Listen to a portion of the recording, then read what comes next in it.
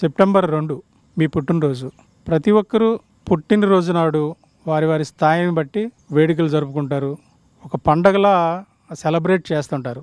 కానీ మీరు మాత్రం ఆడంబరాలకు దూరంగా ఉంటారు. దీనికి ఏమైనా ప్రత్యేకమైన కారణం ఉందా? కారణాలు ఏం లేవు చిన్నప్పటి నుంచి అలవాట్లేదు ఒకటి రెండు సందర్భాల్లో ఇది స్కూల్కి వెళ్ళేదో చాక్లెట్ పంచినట్టు గుర్తు తప్ప ఆ తర్వాత అన్నయ్య దగ్గరికి వెళ్ళటం లేదంటే అప్పుడప్పుడు ఇటు రావటం ఈ ప్రాసెస్లు మర్చిపోయేవాడిని. నేనే మర్చిపోయేవాడిని. మా ఇంట్లో వాళ్ళు కూడా మర్చిపోయేవారు. ఎప్పుడైనా గు- ఎవరికైనా గుర్తొస్తే రెండు రోజుల తర్వాత గుర్తొచ్చేది.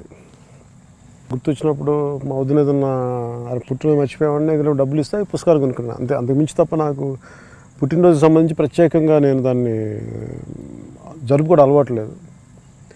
రెండో అలాగే సినిమాలోకి వచ్చాక కూడా ఒకటి రెండు సందర్భాల్లో ఫ్రెండ్స్ కానీ ప్రొడ్యూసర్ కానీ ఏదైనా ప్రయత్నం చేస్తే నాకు ఇబ్బంది అనిపించింది. అలా కేక్ కట్ చేయడం ఒకటి ఆ కేక్ తీసుకొచ్చి నా నోట్లో పెట్టడం ఇవన్నీ కొంచెం ఎబ్బెట్టుగా అనిపించి అలా చేసుకోవడం లేదు. మీ పుట్టినరోజును పురస్కరించుకొని మీ అభిమానులు జన సైనికులు వీర మహిళలు సేవా వారోత్సవాలు చేస్తున్నారు.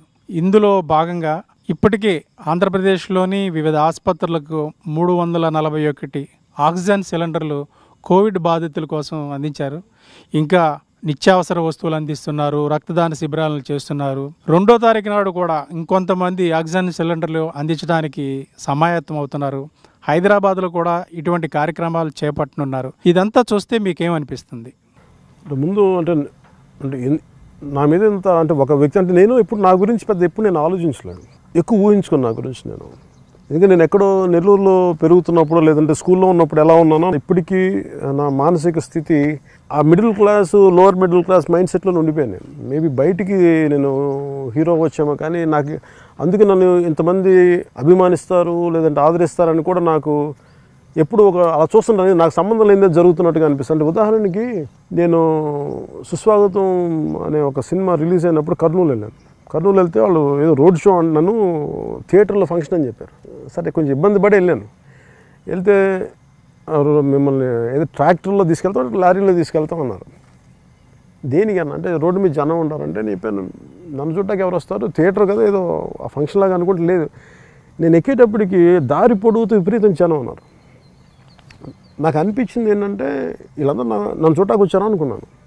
నన్ను నేను ఎప్పుడు ప్రత్యేకంగా చూసుకోలేదు కాబట్టి నాకేమనిపించింది అంటే వాళ్ళకి నాకు ఏమని తేడా వాళ్ళు అటువైపున నేను ఇటువైపున తప్ప మా ఇద్దరికి ఏం తేడా లేదు.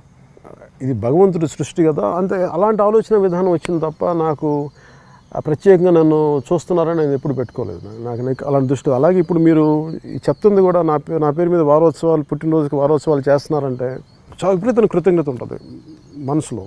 కానీ ఒక వ్యక్తి మీద ఉన్న అభిమానం ఒక వ్యక్తి మీద ఉన్న కృతజ్ఞత అది సమాజానికి ఉపయోగపడితే నిజంగా అది తృప్తిగానే ఉంటుంది. కానీ అది నా ప్రమేయం లేకుండా జరుగుతుంది. అది వాళ్ళ గొప్పతనం. అది వీర మహిళలు కానీ లేదంటే జన సైనికులు కానీ అది అది వాళ్ళ గొప్పతనం కింద తీసుకుంటాను నిజంగా.